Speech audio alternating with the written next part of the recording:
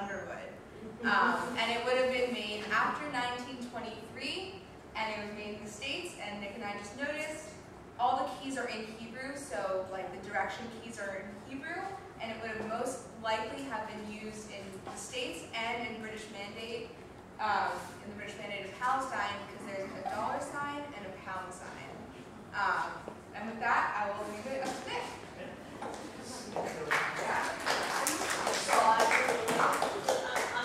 As far as I know, I am not. Um, although my father one time used to tell me all the time, all Underwoods are related, but that's absolutely not true. But, um, uh, maybe spiritual, right? Um, so, to Mike. the best of my knowledge, there's no Mike. connection. Oh yes, let me turn the mic on. There we go. Good? All right, sound good? All right, um, so I want to thank everyone for being here, and thanks for the Magnes uh, for hosting me and inviting me. I'm, uh, I'm really excited uh, to come. Actually, we live up in, in Napa, um, so it's exciting to come down here to Berkeley and share uh, some of my research with you, and hopefully uh, this will lead into a fun conversation afterwards about Yiddish theater uh, and, uh, and, and Paris, which is always fun to talk about. Um,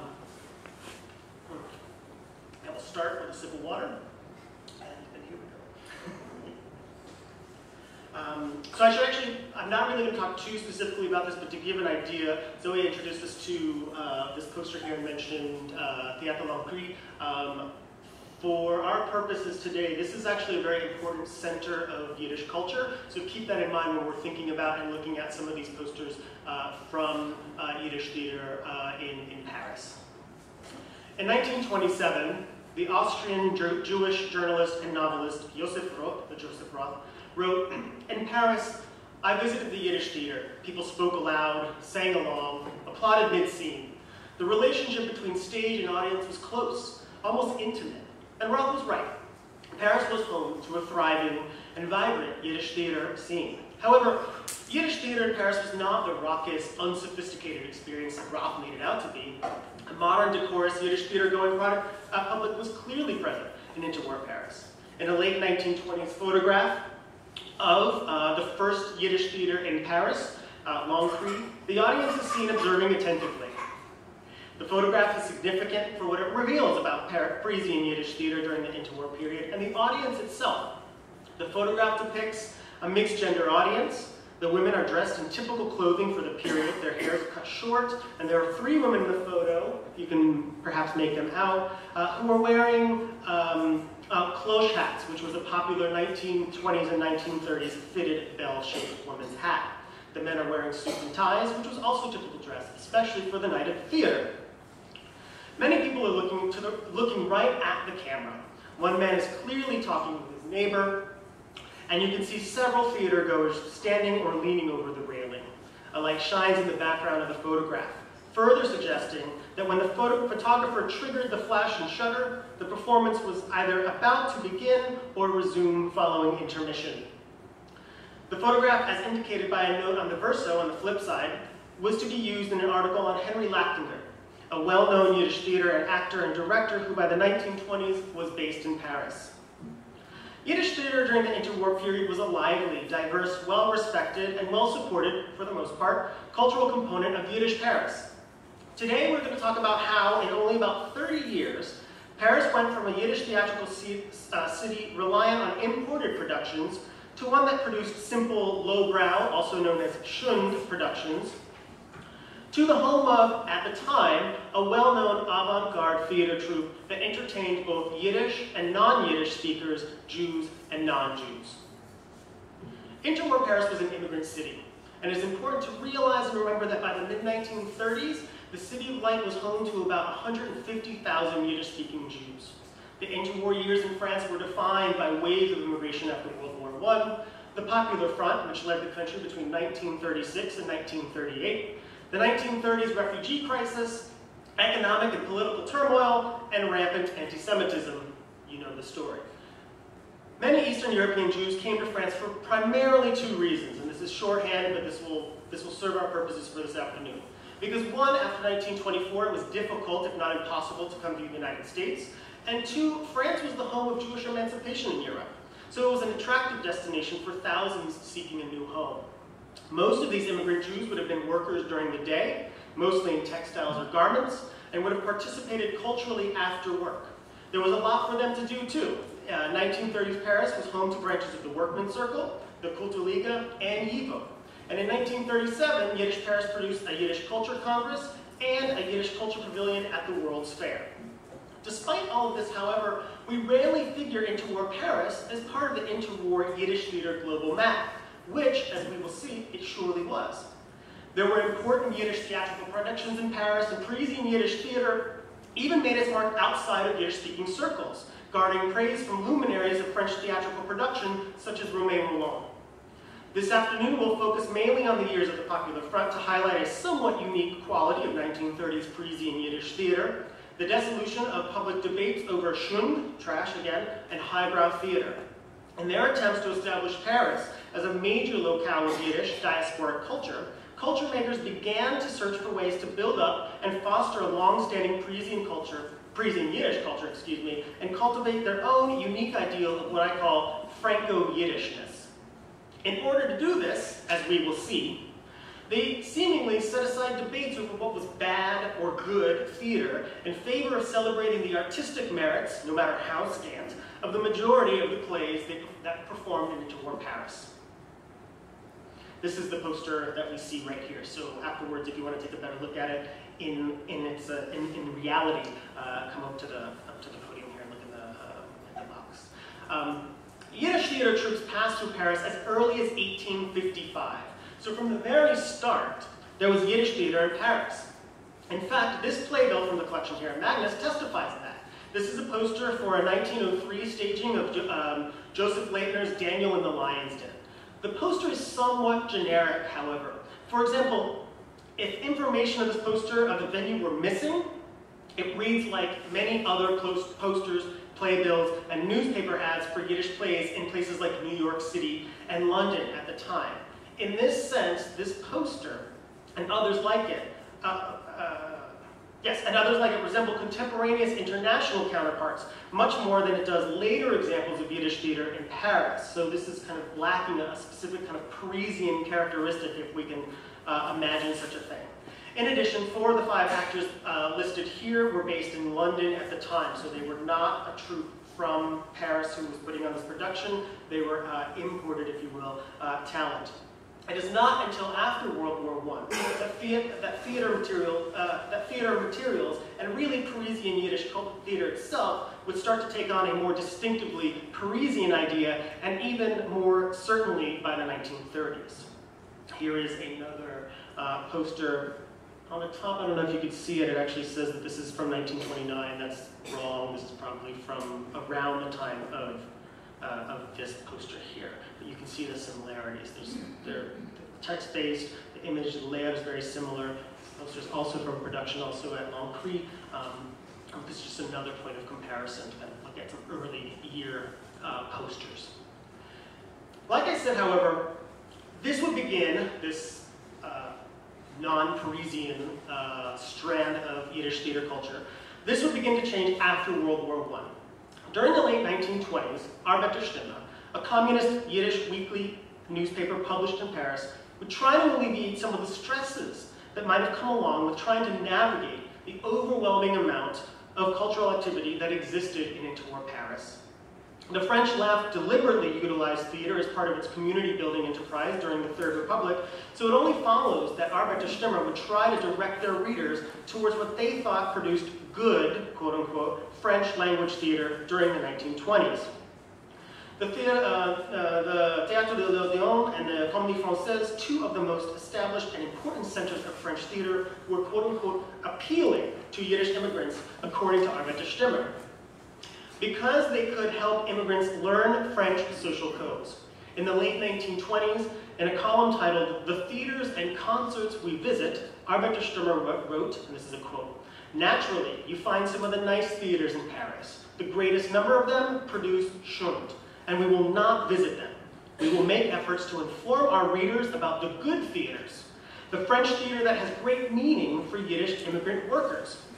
With a firmly established group of immigrants in France, one finds a great need for the French theater, both as a place to learn French and as a place to learn French culture. It is also a place for artistic reflection. Paris produced two great theaters, which have lasted through many regimes, the Comédie Française, and the Odeon. End quote. Arbeiter Stimme is quick to note the quality of the work. The column juxtaposed two seemingly independent components of cultural life in Paris, long-standing French theater and the relatively new Yiddish theater, which is implied by the reference to Schund. Although Schund here is not does not refer only to Yiddish theater. It is an evaluation of some of the French theaters, which is kind of unique, especially for Yiddish theater reviews. It's not common for, for Yiddish writers to refer to non-Yiddish pr productions as Schund. Um, the significance lies in how the two cultural components are woven together. One can enjoy French language theater at a low cost. Later on in the review of this, it talks about how cheap some of these performances are. But there was also a pedagogical component. Going to see the French language theater was a way for Yiddish-speaking immigrants to learn French. By visiting these carefully selected theaters, Yiddish Jewish immigrants could learn French and French culture. Also, by placing this discussion of the French theaters within a column that commented on Yiddish theater, that's the larger context of this particular review of this, this column, um, Arbeiter Stimme made an equation of quality, or at the very least a claim that the two have the potential to produce uh, quality theater. The French theater was also a place where Yiddish-speaking immigrants involved in the Yiddish theater could reflect upon, gain inspiration for, and ponder their own artistic voice, practice, and place within the French cultural milieu. Quite frankly, however, Yiddish theater during this period was still, in, still in its infancy, or maybe like its awkward teen years. Moshe Bernstein's uh, Temple theater, the Temple Theater, a Yiddish People's Theater, founded in 1925, marked the emergence of a formidable cultural community, which he augmented through the launch of a periodical on Parisian Yiddish theater in 1927. With his theater, Bernstein brought actors from across the Yiddish-speaking world to perform, including Berta and Rudolf Zaslavska, two, uh, two actors from Vilna who were quite well known prior to World War I. Pariser Heint the interwar Parisian output of the Warsaw-based Heint newspaper, called Rudolf a highly praised actor of Yiddish theater, and Berta a famous actor and brilliant musician. This account couples international talent with a, with a producer of Parisian Yiddish theater, Moshe Bernstein. Together, the column connects international Yiddish theater talent and Paris's upstart Yiddish theaters. First, Paris served as a locale that simply hosted outside talent. Soon thereafter, Paris became intimately linked to the larger Yiddish theater world by becoming a center that now helped stage that talent. During the 1920s, though, coverage of the Yiddish theater in Paris varied. In, in June 1927, for example, Baruch Vinogura, a culture reporter for the Arbeiter Stimme, the newspaper that we just talked about, echoed Joseph Roth's assessment. Vinogura, however, was less nostalgic and far more dismissive of Yiddish theater in Paris, saying, quote, the present-day Yiddish theater in Paris knows only a wild outburst of primitive urges and terrible ignorance. Does not show any responsibility to demonstrate Jewish values, neither, to, neither towards the Yiddish-speaking audience nor towards Yiddish art, which here has been turned into sacrilege. This tirade, however, seems to have been grounded in battles over Schund versus art theater, a battle that certainly existed among some culture makers, but within the larger context of Yiddish theater and the interwar Paris, fewer of these artistic antagonisms appear within the newspaper's reports. Once Naya Presse became the communist Yiddish daily newspaper in, in January 1934, the focus on Shun would diminish further, because fanning the flames of these debates was a detriment to their larger, the community's larger Yiddishist and diaspora nationalist community building initiatives. Surely lowbrow people's theater, uh, uh, popular theater, excuse me, continued on into Paris, but this would be the last gasp of the earlier Shun versus art theater, or good versus bad theater debates, giving way to a theater scene more accepting of the wide variety of 1930s Yiddish theatrical productions. This would become key, too, once the quote-unquote popular people's theater movement, a French theatrical movement, movement that initiated in 1903 by Romain Rolland, was revitalized during the Popular Front years. By the early 1930s, the Yiddish press began to highlight changes within the Parisian Yiddish within Parisian Yiddish theater to emphasize the further modernization and professionalization of the Yiddish theater scene in Paris. The play The Sinful Mother, based on a popular based on a popular novel by Parisian Yiddish writer Nissen Frank, opened in Paris in January 1931. In addition to being a popular Yiddish writer, Nissen Frank uh, uh, in Interwar Paris. Uh, Frank was a cultural writer for Die Zeit and Paris Heint, two Yiddish newspapers in Paris at the time, and he was also, he translated many of uh, Émile Zola's uh, French books into Yiddish. The performance was noted for its romantic depiction of Rue de Rosier in the quote-unquote heart of the Jewish quarter.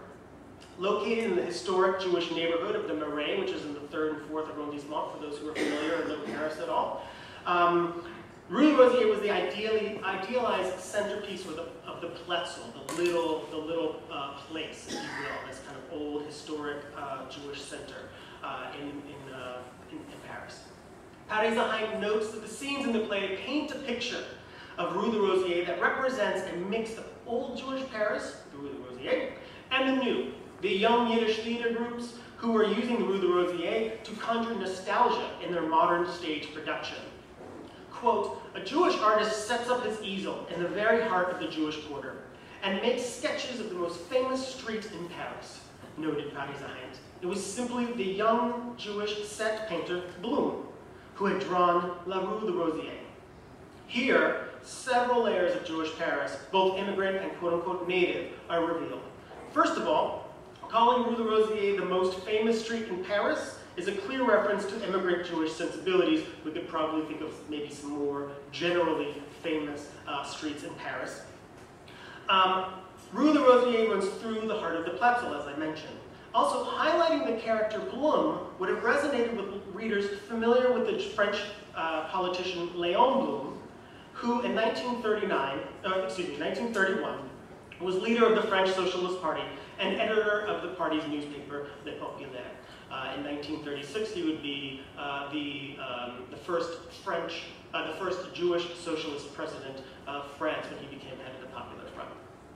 The real turning point for Parisian Yiddish theater was when the Kulturliga of Paris, a Yiddish cultural institution that opened in Paris in 1922 and that was tangentially part of the International Kulturliga network, started its drama circle. During the late 1920s and early 1930s, the drama circle would perform regularly at Kulturliga events, and begin to develop a small name for itself. Other cultural institutions in Paris, most notably the Medem Club, which is the Bund's Parisian outpost of the, of the Workmen's Circle, and the Arbeiterheim, which was run by the Linke Polition, uh, also started drama circles during this period. It seemed as if Parisian Yiddish theater was beginning to gain traction towards being a viable and important cultural part of Yiddish Paris. Then, in the early 1930s, Yiddish Paris scored its biggest coup which happened in two parts. First, members of the famed Vilna troupe, most notably David Licht and Yochai Raphael, uh, moved to Paris in 1933. Then in 1934, the communists were finally able to establish a stable daily newspaper outlet, the Neue Presse.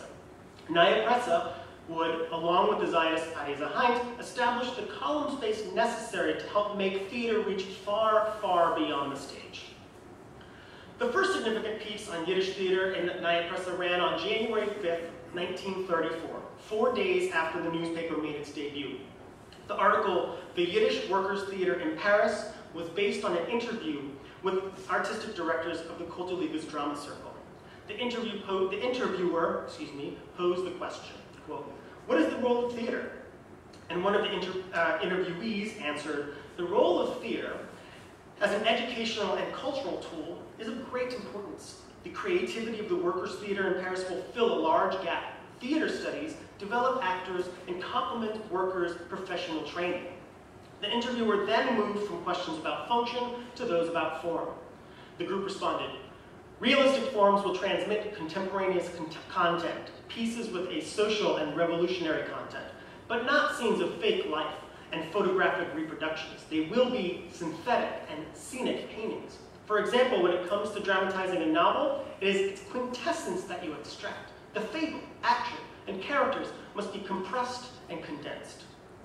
A follow-up article with a few words about Yiddish, about workers' theater, covered David Licht's reading of uh, David Bergelson's Harsh Judgment, Midas Hadin, which is about a Communist Party official who, although depicted as a decent person, has no problem ordering murders. To begin the performance, Licht came up, Licht came out, came out on stage, but did not say a word. His associate Kurlander stood with him and gave a short overview of Bergelson and his work. Then Licht began to read. He was accompanied by 12 tableaus on stage. He was quote-unquote quick and lively as he performed each of the characters. Uh, Naya Pressa said that Schund and Schmaltz, literally rendered chicken fat here to describe a, a performance that is overly sentimental or sappy, were not present during the evening's performance. Representatives of nearly all related organizations were there, and workers' theater would be put to the test. The Naya Pressa called the workers' theater a real accomplishment, quote unquote. The real accomplishment in the development of Parisian Yiddish theater, however, was the formation of the Parisian Yiddish Workers' Theater, later the Parisian Yiddish Avant-Garde Theater, best known by the Yiddish acronym PIAT. P, uh, formed from the Kulturliga Drama Circle and catalyzed by the injection of Vilna Troupe talent, PIAT was, an, was Interwar Paris's longest running homegrown Yiddish theater group. Between 1934 and 1940, PIAT staged 27 plays, eight of them in 1938 alone. Approximately 250 people participated in the theater group in some way, as, uh, as either set builders, designers, actors, as the Parisian Jewish Workers' Theater, which they used from 1934 to 1935, they performed, for example, plays by Max Alba, Lev Tolstoy, and David Bergelson. And then in mid-1935, they changed their name to the Parisian Jewish Avant-Garde Theater. Under this moniker, they staged Moshe Kulbak, uh, Chaim Levitt, Shalom Aleichem, and David Bergelson. There were overlaps and similarities between the two periods. PIAT comprised working women and men. Most, if not all of these workers worked during the day and rehearsed during the evening, usually around 9 o'clock. For most, theater was a means for their national but not economic livelihood. Moishe Stark, for example, continued to work at the plant where he had been for nearly 50 years. He even earned a medal for his longevity with the company. These were not professional, quote-unquote, actors per se, and Stark's story reminds us that it is important to acknowledge that PIAT was made up of Jews who spent several waves of Eastern European Jewish immigration to Paris. By 1937, actors in PIAT were unionized in the Union of Independent French Theaters, and later they were affiliated with the Popular Front's um, Association of Writers and Artists, uh, Revolutionary Writers and Artists, a House of Culture. Placed within a French theater world that welcomed modernism and the avant-garde, PIAT transplanted the Vilna Troupe's transnational and Eastern European art theater to Western Europe, and it was a good fit. Paris is a progenitor of theatric modernism, therefore welcomed the Vilna Troupe as progenitor of Yiddish modernism. PIAT coupled a Jewish avant-garde theatrical educational model focused on rectifying the lacuna between Jews' knowledge of Yiddish theater and literature with that of French modernist theater that tried to shape active citizens of the Third Republic. Playing to PIAT's strengths, Paris gave Yiddish theater a home where it could sit at the heart of the Yiddish-speaking Jewish diaspora nation in France. PIAT fundamentally changed the nature of Yiddish culture in interwar Paris because it established the base from which Yiddish culture makers could engage both Yiddish and non-Yiddish speakers, as well as provide a regular Paris-based option for live Yiddish theater experiences. PIAT provided an immigrant point of entry, inquiry excuse me, through which people in Paris could explore cultural pluralism promulgated by the larger avant-garde movement in France, and rethink who had access to and ought to be included in popular culture. In 1935, Piat staged Shalom Aleichem's four-act comedy, The Gold Diggers, a play about the orphan protagonist Benny's return to Eastern Europe from the United States as a quote-unquote self-made man. Benny is, for all intents and purposes, an American Jew who has come back to the shtetl only to be confronted by those who remain living in economic depression, hoping that a quote-unquote treasure would save them. The Gold Diggers is a, is a classic Maskilit play um, uh, having to do with the Jewish Enlightenment. In the sense that the shtetl is described as an unhealthy society as well as a world of corruption and lies. The entire play is based on the ambiguity of the symbol of the treasure, failing as it does, falling as it does, excuse me, between the mythical hoard and the American material paradise, between to be and to have, between time and space. This ambiguity, which is expressed in the clash between generations, countries, and mentalities, is never resolved in the play. It is within this ambiguity that Piat positions itself. It also captures what Shalom Aleichem, and through extension, classic Yiddish plays, meant for the group. Piat carefully constructed an ideal of itself, by, by reading marketing materials such as playbills and posters, it becomes clear that what, produced, what was produced for viewers off stage was just as important as what was produced on stage. On the back of the playbill for their 1935 staging of The Gold Diggers, Piat poses and responds to the question, what does Shalom Aleichem mean for Piat?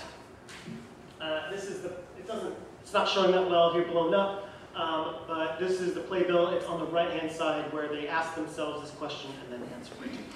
Piat is a young theater collective in two ways. Time, Piat has been a theater group for only one year at this point, and socially. Piat is still becoming a political theater, but it is conflicted between theatrical heritage and the search for a realistically revolutionary repertoire. Here we see the difficulties in trying to build an immigrant Jewish Yiddish theater culture within the interwar French theater scene. Piat strove to be a political theater, quote unquote, but the politics were not declared. So it only follows that Piat felt comfortable in presenting its own take on what could be considered art and revolutionary theater.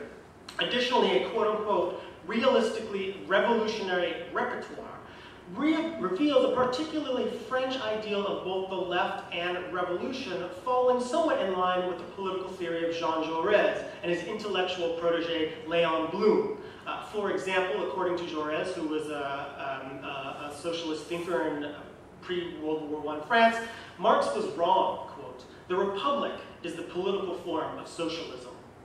The playbill also discusses excuse me, Piat's place within the French theater and gives commentary on how to defend the masses against the influence of Shun theater. So we have a little bit of the Shun uh, debates coming back. Performing Shalom Aleichem's the, the Gold Diggers enabled Piat to engage the Jewish masses and lay the groundwork for a permanent Jewish theater in Paris. For Piat, performing Yiddish cl cl classic writers like Shalom Aleichem played a variety of roles, producing his plays, especially those with a particular social commentary, as we heard this play does, allowed them to tie themselves to quote-unquote good theater. They also simultaneously claimed ownership in Paris as the arbiters of theater that focused on social commentary, which was all done with an artistic framework that brought the Jewish masses to the theater. The connection between old and new found in Piat's rhetoric is made visual in many of their posters and advertisements. Let's... Okay. Several of the posters produced uh, to promote and advertise performances strike a balance between the piece's textual and visual content. Actually, let's go back one. We'll talk about this one for a second. Emblematic of Piat's visual sensibilities is a poster for the production of uh, H. Leivick's three-act drama, Caton, or Chains, which premiered the weekend of July 24, 1937 at Theatre Lancry. The poster provided information as well as indicated the aesthetics of the theater group. Of course, it let readers know when and where the premiere would take place, where one could buy tickets, by whom the play was written, and who directed this particular stage adaptation, the famed Vilna trooper David Licht. This was the only time, however, that Licht, this is not, excuse me, the only time that Licht's name appears on the poster, on the top, where it lists, um, on the top where it names the, uh, named Piat as the Parisian Yiddish Avant-Garde Theater, it also names Licht as the group's artistic director. Like all posters, this one provided basic information, when and where, how much, who wrote the play, uh, all these uh, components. Nonetheless, the visual tone of the poster conveys the avant-garde character of the production.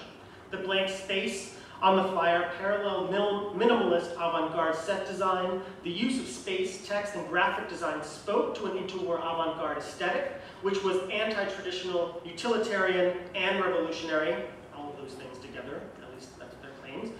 It is therefore unsurprising that we see some of those aesthetics and utilitarian sensibilities on display in Piat's visual cultural production because of the group's transnational and leftist makeup. And I also when we're looking at these posters, let's think about the ones that we saw earlier and the very, very different character of the posters that we're looking at.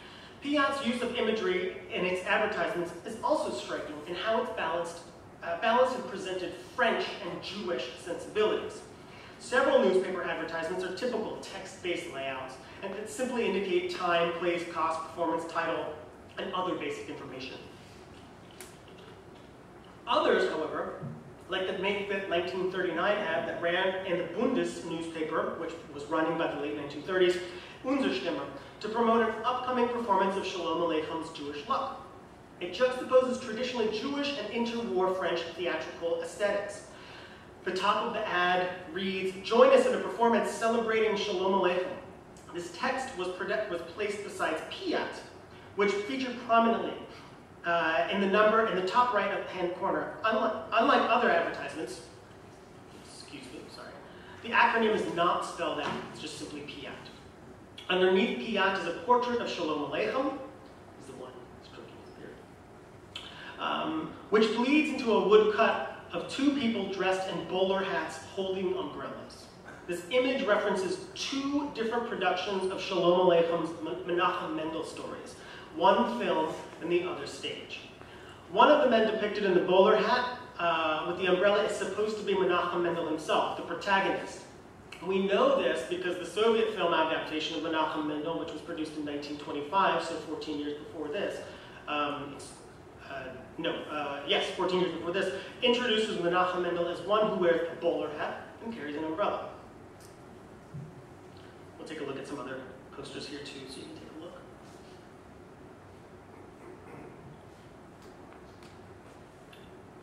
Um, we're not really talking about it too much here, but uh, we can get a sense I mentioned earlier this kind of engaging Yiddish and non-Yiddish speakers. This is the playbill that was handed out for Piat's production uh, in 1930 of uh, David Bergelson's the, the, um, the, Bread Mill. You can see in the middle it's a resume or a, uh, um, a synopsis of the play and it's written in French. It's not in Yiddish. There's actually, in, on this playbill, there's not a Yiddish uh, synopsis of the play. To celebrate the close of the 1938 theater season, Piat invited fans in true French fashion to join them for a glass of wine and toast the season's successes. Attendance was up, their repertoire was expanding, and they were gaining fame within an ever-growing number of Yiddish and French language, Jewish and non-Jewish news outlets. Piat had also put Yiddish art, workers, and minority avant-garde in France on the map in Paris, and people from both the Yiddish and French art worlds praised Piat. Piat members would continue to work in the first months of World War II in France, even with the light regulations against the air raids, the, the blackouts that happened in, in Paris during the early war years. Productions continued until the largest part of the male personnel from the group were mobilized into the army, or wound up having to go into hiding. The name change that happened uh, for Piat in 1935 tells us as much about French popular front politics and political culture as it does about immigrants' attempts to create a public presence, an outlet for the modern Jewish experience, which during the interwar period specifically was categorized by migration, the development of multi-diasporic transnational identities, and the resultant struggle to create a new sense of home. To be sure, without interwar Jewish migrations and the settling of key members of the Vilna Troupe in Paris after 1933, Piat would most likely not have had the success that it did. One of the Vilna Troupe's primary artistic goals was to attract large numbers of non-Jewish spectators to the Yiddish theater, so that Yiddish theater could enter into conversation with modern theater at large. The Vilna Troupe reached beyond Yiddish-speaking uh, communities and appealed to a much more global community than any previous Yiddish, Yiddish theater group. Piat inherited and embodied that transnational artistic sensibility. As notable Vilna Troupe members, such as David, uh, David Licht and Jakob, uh, Rothbaum, this, uh, this production here, this poster that we're looking at was uh, produced by Rothbaum, uh, settled in Paris, they helped catalyze a fundamental change within Parisian Yiddish theater. Instead of focusing on intermingling of politics and culture, something larger emerged. Piat sought to engage a larger audience in order to create a larger quote-unquote conversation among culture makers and leftists in Paris during the 1930s. In Paris, members of the Vilna Troupe helped bring about one of the troupe's original goals, to become an institutional base for a new Jewish nation. As the Naya Presse wrote in September 1935, very early on, the theater is a form where a portrait of the Jews' needs, the tragedy of their lack of rights, protests against oppressors, and the struggle for bread, justice, and freedom can be reflected in a highly artistic form. Seen within this context, when Piat changed its name, the troupe was staking a Yiddish national place within the larger French leftist cultural movement set on undermining the conservative hegemony excuse me, over French cultural identity politics. Piat and Yiddish theater in Paris more broadly had moved beyond concern whether or not a production was shund or not, and they did so interestingly enough so that they could carve out their own Yiddish language space centered on ideas of the avant-garde and cultural pluralism within the French theatrical scene. Thank you.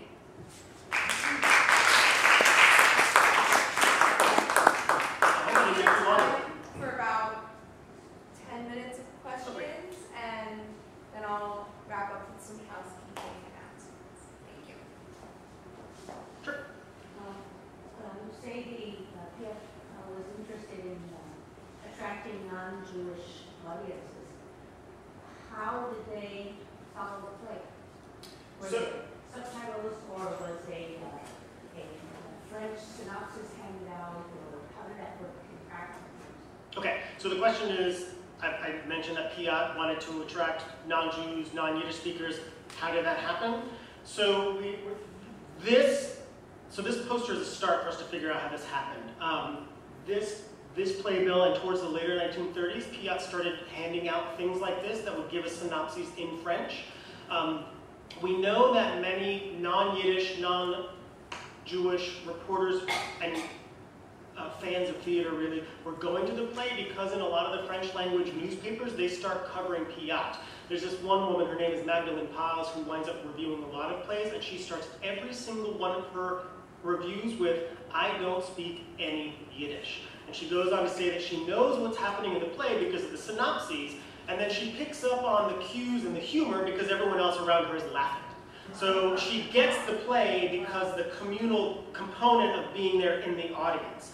Um, I have not, the images that I have seen of the actual stages, I've not seen any subtitles. So to the best of my knowledge, they were not line by line translated. The only way that non-Yiddish speakers, um, Jewish or not Jewish, uh, would have been able to follow along were uh, via uh, productions like this that had some sort of them. Yeah, but let's not forget too that in Tomorrow Paris, I mean, this wouldn't have been the only non-French theater or ballet or anything that was being produced or opera um, with so many immigrant groups, with Russians and Poles. There were lots of cultural cultural productions that were happening that were not in French that people were going to. So, um, you know, sometimes think about it as like maybe going to the opera that's in Italian or German if you don't speak Italian or German. But, um, but this is an indicator of kind of how people were on a very basic level able to follow along. What else? Yes? Did, did any of these have, especially if we wanted to branch out and have a wider audience, did, did they, did this have any effect on the French cinema at the time? So um, the question is whether or not this had any effect on the French cinema, cinema at the time. I have not been able to find any effect or influence on the French cin- cinema. In fact, it's somewhat interesting that this immigrant group is actually actively pursuing a French artistic mode that is somewhat normalized, right? I mean, by the late 1930s, the avant-garde is, is actually making money for some production companies in Paris. It's not before the war, it's not as shocking. Um, so you would think that perhaps some of these would have either affected or started to involve themselves in film. Uh, I have not found any hint that was happening. Um, they very much so uh, themselves thought that their way of integrating was through theater because there was a long-standing tradition of Yiddish theater in Eastern Europe, so it's something that is somewhat easy to recreate. Um, and then whether or not this had any effect on the French cinema scene, I have not seen um, that at all. With the caveat that one of the members of uh, Piat is in some of Renoir's uh, popular film, uh, French films, um, but when I have seen him, he doesn't have speaking parts. He's just kind of an extra in them. He's in a he's in a few of them. Um, uh, so uh, is uh, who. He wound up being a famous, famous uh, actor here in the United States after he leaves France and becomes part of the Folksbiene in New York and has a long-standing uh, career in New York. Um, but I know that he was in some films, but uh, whether it actually affected cinema culture in France, I don't know if I can make that comment. Yeah? On the poster for uh, Shalom play was described as a Volksspiel. What, what does that mean? So, um, as I was talking about before, so Piat very, very carefully was trying to use um, Shalom Aleichem, and when they talk about a Volksspiel, they're really talking about like a people's play, really. Um, and in France, at this particular moment, because this production's from the late 30s, Folkspiel would resonate with the with Romain Rolland's attempt to try and bring back what he called people's theater. So I, I always read their use of that in two ways. One, that this is kind of a traditional, this is one of the classics, this is a Shalom Aleichem play, but we need to be mindful of the fact that this is very much uh, threaded through a Soviet lens, right? I talked about how this, the imagery here is, is reminiscent also of the Soviet um, film production of this. Uh, and uh, on top of that, this kind of re-emergence of the whole pop people's theater uh, movement that was happening in France. Um, so that is how I understand their use of, of Volksspiel here. Um, So it's in the Russian sense of melody rather than the German sense of the song. absolutely, yes, yes. Uh, It also indicates uh, songs uh, and music. Yes. Is that usual to have music in the plays? Absolutely, especially during this period. So in French theater at this time, there was something that was happening on the stage that was being advertised and, and broadcast as the complete spectacle. And part of the complete spectacle of theater had to do with singing and dancing and music. It is an absolute resonance with French theater that's happening here when they're listing who's doing the music, that you're going to see dancing, that there's, that there's a music composer. These are all uh, French theatrical components that are being transposed onto these Yiddish um, uh, marketing materials. They are very much aware that this, that this kind of complete spectacle component is happening within the French theater spaces, and they're absolutely emulating that. Yeah. One more point about this particular poster. Mhm. Uh, Shalom is written in the Soviet orthography. Uh, Yeah, which is interesting because this is a Bundist newspaper.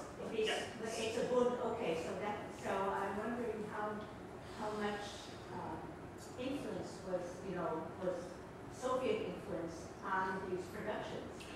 So there was Soviet influence. Uh, well, I mentioned that they're they're producing some of David Bergelson's plays. David Bergelson's plays, with this who during this period had moved to the Soviet Union. They were producing a lot of his productions. There was influence in the sense that some of this revolutionary repertoire that they were taking was from Yiddish writers who had moved uh, to the Soviet Union when they were leaving wherever they may have been leaving. And there's this kind of trajectory um, especially among some of these activists uh, within the Yiddish-speaking world, where some of them go west, and most of them either first go to Berlin and then to Paris, or they go to Paris first, or London and they go to Warsaw and they go to Paris, um, but eventually wind up west. And then there are some that are moving uh, to the Soviet Union. Bergelson goes to Berlin and then he goes to the Soviet Union. There is overlaps and influence because those are some of the plays that they're pulling from. Although I mentioned one play that is written by a writer in Paris, I have not seen any of Piat's performances that were penned by someone who was from Paris at the. So it is still, even though they're trying to create something that I think is still very Parisian, they are still borrowing scripts um, uh, from um, other um, uh, other writers. Um, I don't know if that answers your question, but yes, there's a definite. One more question. One more question? Okay.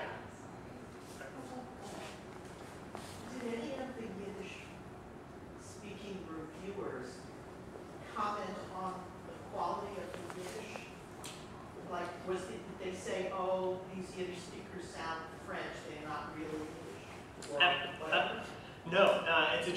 the earlier stage, so in the 20s, when I mentioned the Arbeiterstimme, when they're talking about the Yiddish um, performances that they don't like, they definitely talk about how it's, they really call it German, like, you know, it's not really Yiddish.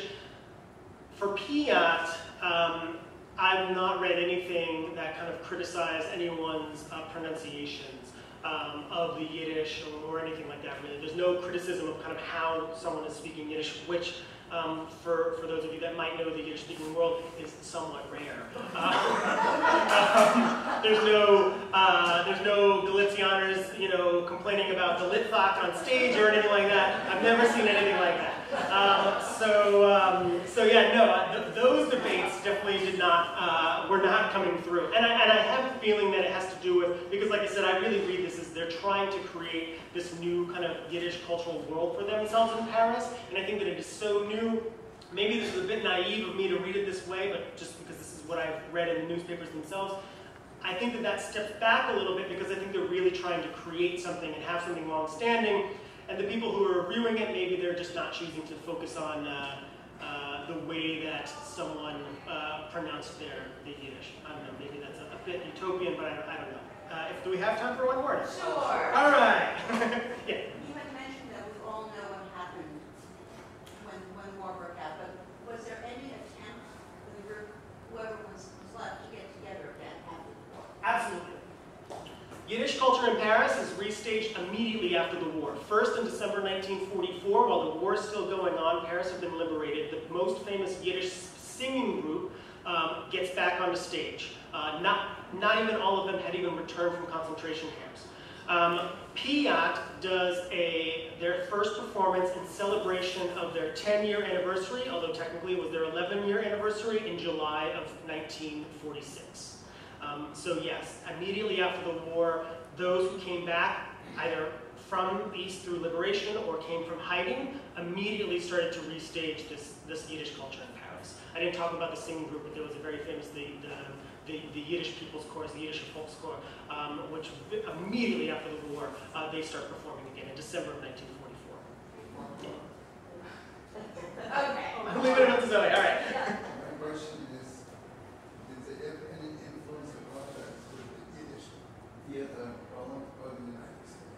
Um, so the contact that they would have had um, in the with with Poland, I have not seen as much because, especially by the 1930s, a lot of the kind of theater troupes were migrating. Like I said, the Vilna troupe, who technically was based in Vilna, Vilna but not really ever based in Vilna, um, they were starting to leave Eastern Europe by the uh, early 1930s. Maurice Schwartz uh, comes to Paris regularly, and in 1935 and 1936, if I remember correctly, the, the years, he makes Paris his home base and he does a ton of performances and then travels throughout Europe and comes back to Paris and does another performance. So there's a lot more contact with Maurice Schwartz, who loves Piat, by the way. Um, he says, you have a bunch of wonderful theater actors here and a wonderful production company putting on wonderful theater. Um, Maurice Schwartz loves uh, Piat, and he does come uh, to, to Paris, um, but not so much uh, that at least I've encountered or read from from other than the Vilna troupe kind of, you know, those members moving to Paris, uh, not much back and forth with other troupes in the East. So, I,